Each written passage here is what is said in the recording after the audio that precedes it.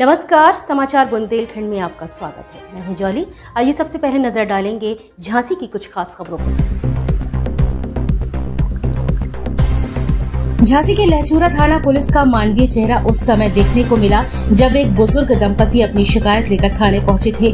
ग्राम खरकामाफ थाना लहचूरा निवासी रामपाल पुत्र सुमेर बरार अपनी पत्नी के साथ किसी मामले की शिकायत को लेकर थाने गए थे। बुज़ुर्ग दंपति की दयनीय स्थिति देखकर थाना अध्यक्ष धर्मेंद्र सिंह चौहान ने उन्हें थाने में बैठाकर ससम्मान भोजन करवाया और उनकी समस्या का शीघ्र समाधान करने का आश्वासन भी दिया। थानाध्यक्ष के इस मानवीय रवैये को देखकर दंपति के चेहरे पर खुशी देखने को मिली। गरोठा से दीपक सिंह यादव की रिपोर्ट।